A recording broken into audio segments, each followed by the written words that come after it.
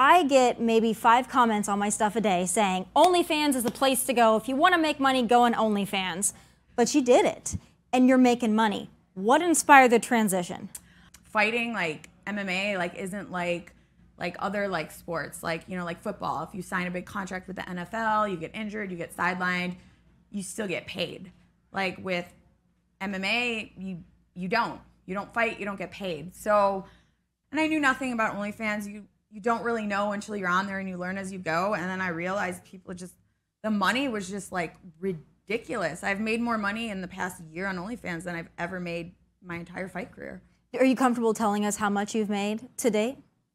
Give us half an a estimate. million dollars Oh, you've made half a million dollars yes in the last couple of years? year In the last year?